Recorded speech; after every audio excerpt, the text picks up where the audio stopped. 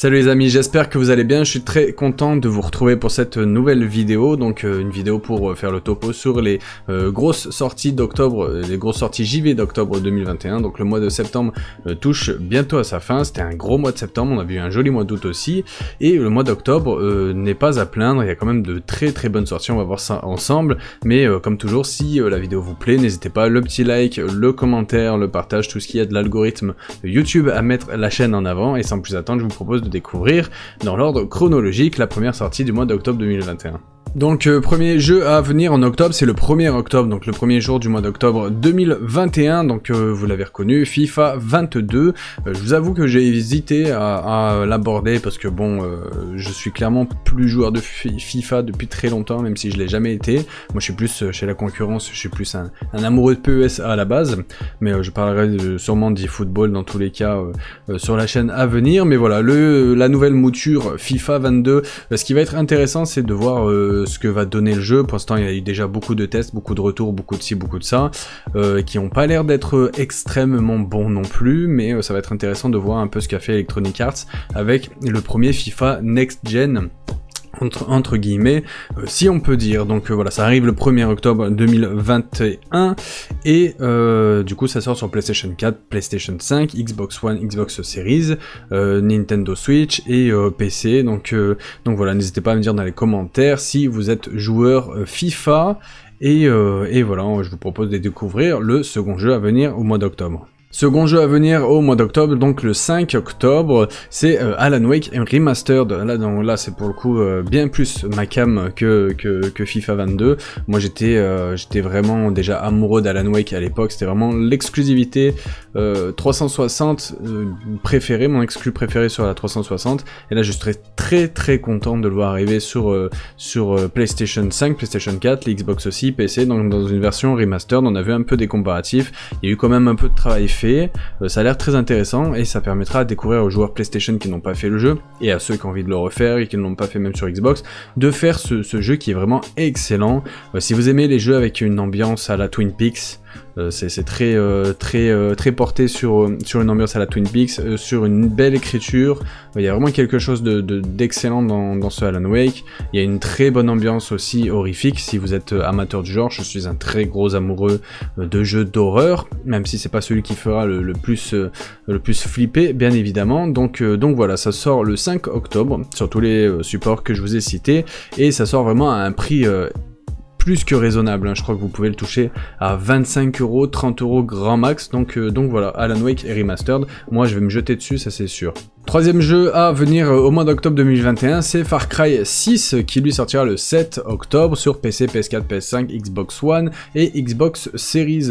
Donc euh, pas le sixième jeu Far Cry, hein, il y en a eu un peu plus, mais Far Cry 6, donc il nous plongera dans, dans, un espèce de régime avec un espèce de dictateur sur l'île de Yara, je crois. Je vous avoue que euh, à la base, j'attendais beaucoup ce Far Cry avant qu'on voit un peu de gameplay, parce que justement Giancarlo Esposito, euh, moi ça m'a forcément euh, forcément attiré, étant grand un grand fan de, cet acteur et de Breaking Bad. Mais franchement, le gameplay, non, voilà, je, je jouerai pas à ce Far Cry. Je voulais quand même le mentionner parce que ça reste une des grosses sorties de ce mois. N'hésitez pas à me donner votre avis concernant ce jeu, si vous allez le faire, si vous avez envie de, l'acheter, si vous êtes hypé. Moi personnellement, pas du tout. Je suis déjà pas un grand joueur de FPS. J'avais adoré Far Cry 3, mais euh, depuis Far Cry 3, j'ai pas été euh, hypé par un nouveau euh, jeu estampillé Far Cry. Et c'est pas celui-ci qui arrivera malgré le côté euh, fun si ça qu'il peut qu'il peut proposer. Mais pour le coup euh, non je, passerai mon tour. Mais n'hésitez pas à euh, le mentionner si vous vous allez vous jeter sur ce Far Cry 6 donc voilà. Prochaine sortie.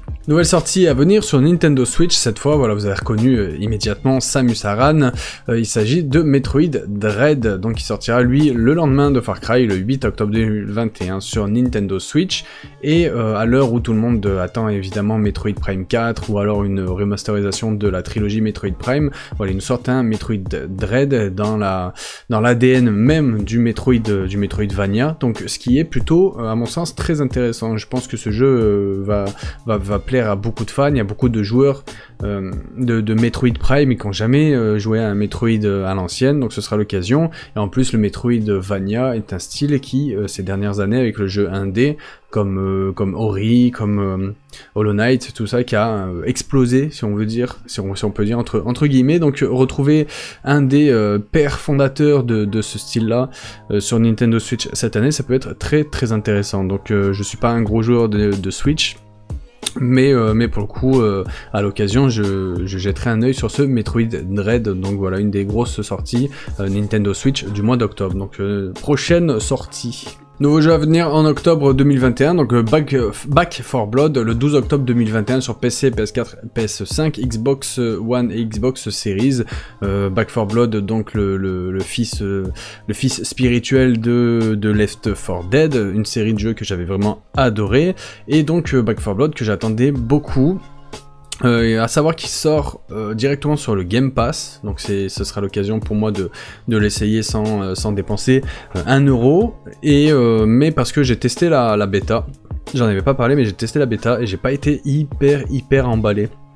Après c'était un avis sur euh, quelques heures de jeu, donc je demande à voir quand même. C'est vraiment un jeu, euh, voilà, c'est du FPS coopératif dans lequel vous devez traverser des camps, euh, aller de camp de survie à camp de survie en traversant des vagues de monstres. Donc vraiment à l'image de ce que faisait Left 4 Dead évidemment. C'est vraiment du jeu coopératif, faut, faut y jouer entre potes pour, se régaler. Donc moi la bêta je l'avais fait tout seul forcément. Mais en, termes de gameplay, en termes de sensations, en termes de tout ça, j'avais pas été hyper emballé non plus. Donc je le testerai sur le Game Pass et euh, je verrai, euh, je verrai un peu, un peu ce qu'il en est. Donc n'hésitez pas à me dire si vous allez en faire de même. Donc euh, Back 4 Blood le 12 octobre 2021, prochain jeu à sortir. Prochain jeu à venir en octobre 2021, il s'agit de Demon Slayer de Inokami Chronicles, qui sortira lui le 15 octobre 2021 sur PC, PS4 et PS5. Euh, c'est euh, clairement le jeu que j'attends le plus ce mois-ci, j'en peux plus de l'attendre. Euh, j'ai un lien assez particulier avec ce jeu, hein. j'étais un très gros joueur, un très gros amoureux des jeux de CyberConnect 2 Naruto à l'époque. Et euh, en fait, quand j'ai vu ce jeu et forcément reconnu le gameplay un peu à, Naruto Storm, je, me, suis vraiment hypé sans connaître le manga. J'ai regardé l'anime après, que j'ai adoré. Donc, euh, euh, voilà, le jeu m'a donné envie de, m'a donné envie de regarder l'anime et l'anime maintenant m'a hypé de ouf pour le jeu. Donc je l'attends énormément. Celui-là, je vais le prendre day one et je vais le fumer dans tous les sens. Donc voilà, ça sort le 15 octobre. Voilà l'adaptation en jeu vidéo du euh, manga euh, Demon Slayer ou Kimetsu no Yaiba au Japon. Euh, je sais que c'est un manga qui a fait beaucoup parler ces derniers temps, donc n'hésitez pas à me donner votre avis là-dessus. J'ai parlé avec pas mal d'entre vous justement du jeu, du, manga, de l'animé, et je pense qu'on est beaucoup à l'attendre. Donc, donc voilà, pour le coup, le 15 octobre 2021, si vous voulez jouer avec moi, il n'y a pas de souci, ce sera avec plaisir, suffira de me le dire au pire dans les commentaires. Donc voilà, le 15 octobre 2021 sur PC, PS4 et PS5, Demon Slayer de Inokami Chronicles. Nouveau jeu à venir en octobre 2021 encore, donc un, beau mois comme je vous avais dit, qui sortira le 26 octobre 2021, la veille de mon anniversaire. Euh, voilà, mais le message est passé. Euh, les Schtroumpfs Mission Malfeuille qui sortira sur PC, PS4, Xbox One, donc euh, PS5, et Nintendo Switch, PS5 et Xbox Series avec la rétrocompatibilité.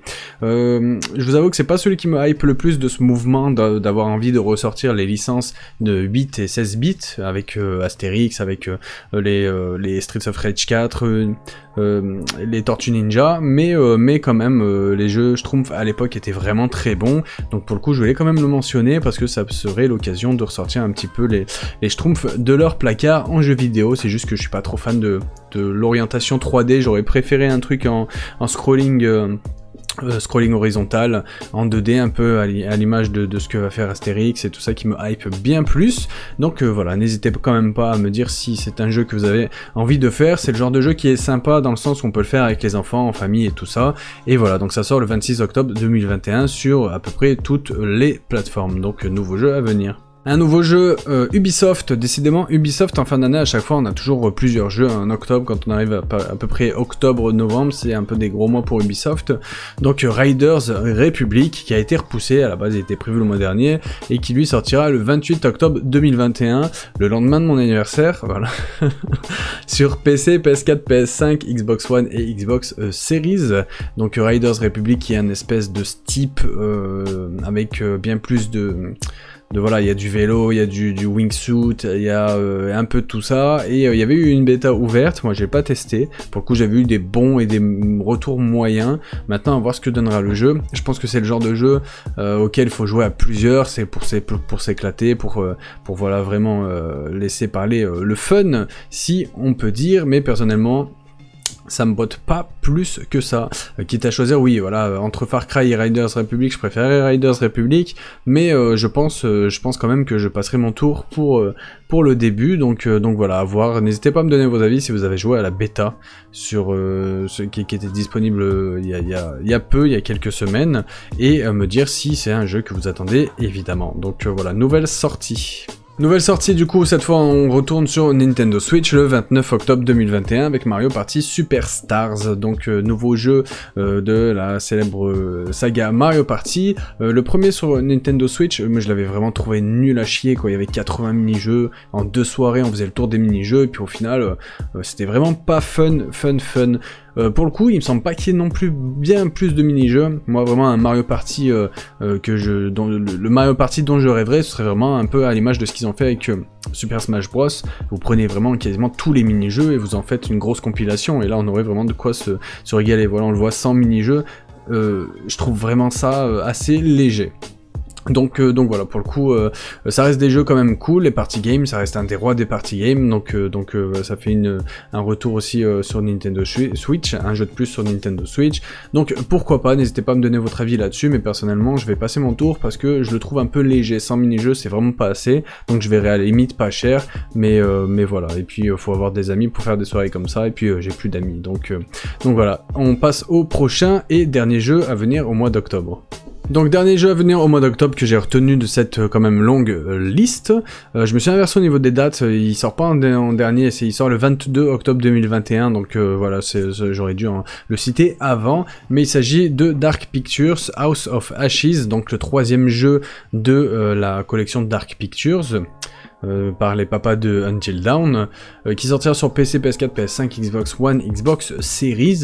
J'avais pas fait le deuxième, je sais plus c'était quoi avec les, sorcières et voilà, mais j'avais fait le premier, Man of Medan, qui était intéressant, euh, qui était, mais au moment où ça devenait sympa, le, jeu s'arrêtait quoi, c'était c'était un peu trop court. Donc voilà, je voulais quand même citer celui-ci. ça peut être ça peut être sympa. Après, à voir si vous avez fait le premier ou le deuxième. Ça reste des histoires assez courtes et des, histoires à ambiance horrifique, voilà, qui, qui se joue euh, à plusieurs. J'aimais pas trop le principe de, de jouer chacun un personnage dans le premier non plus, à voir s'ils ont corrigé ça. Mais euh, je voulais quand même le citer, je sais pas si je le ferai, j'essaierai de faire d'abord le deuxième avant de faire celui-ci à l'occasion, voire à la limite de trouver la trilogie euh, pour, pour pas cher, mais clairement on n'était pas au niveau de Until Dawn qui lui était vraiment excellent, donc, donc voilà pour ce dernier jeu de cette euh, de cette vidéo euh, The Dark Pictures House of Ashes donc le 22 octobre 2021 sur PC, PS4, PS5, Xbox One et Xbox Series. Donc voilà les amis, c'est fini pour euh, cette vidéo. On a fait euh, un rapide tour de, des grosses sorties euh, du mois d'octobre 2021. Moi, celui que j'attends vraiment le plus, c'est Demon Slayer de Inokami Chronicles. Je vais me jeter aussi sur Alan Wake Remastered. Donc je pense que pour moi, ce mois-ci, ce sera surtout ces deux jeux-là. Donc n'hésitez pas à me dire dans les commentaires quels sont vous les jeux que vous attendez le plus. J'ai pas cité tous les jeux. Il y avait les, jeux de sport, il y a, d'autres jeux. Voilà, mais si je commence à citer tous les jeux, ça fait une vidéo de, de 30 minutes qui n'est pas euh, forcément nécessaire, mais n'hésitez pas à me dire les jeux que vous attendez le plus, euh, même si c'est des jeux dont euh, je n'ai pas parlé. Si la vidéo vous a plu, comme toujours, le pouce, le partage, le petit commentaire, ça fait toujours plaisir et ça met la chaîne en avant. Et puis on se retrouve très bientôt pour une prochaine vidéo. En attendant, portez-vous bien. Allez, ciao